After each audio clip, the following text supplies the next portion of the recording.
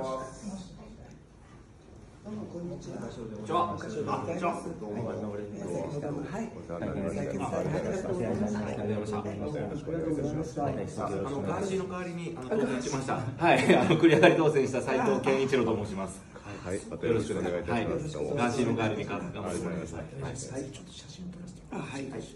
あ、よかったらこちら。名名刺が。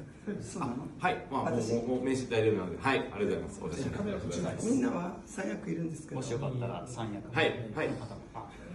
ぜひ一緒に。はい、お願いします。いやだって。こっちだってこと言ってよ。じゃあ、じゃあみんなで一人だと。そう、そうですよ。ぜひお願いします。ありがとうございます。大臣一人っていうのもね。あ、なるほど。入江先生お元気そうもう元気元気しか取り柄がありませんので。写真撮影失礼いたします。ありがとうございます。ありがとうござはいい、ます。どうも。はい。どうもありがとうございました。ありがとうございました。PTA の件結構反響ありました。どうも。ありがとうございました。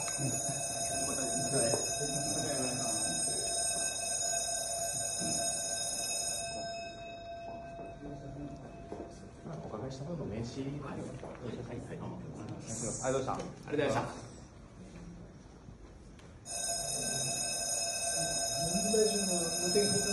ねえ、見てくれましたね写真撮影まで応じていただいてねえ、なんか気が悪なかったですね。はいあの今の文部大臣の旦那さんが衆議院議員だったんですよ。はい。で、えー、亀井派で郵政解散の時に、亀井静香先生が派閥を全部反対させたんです。で小泉総理が怒って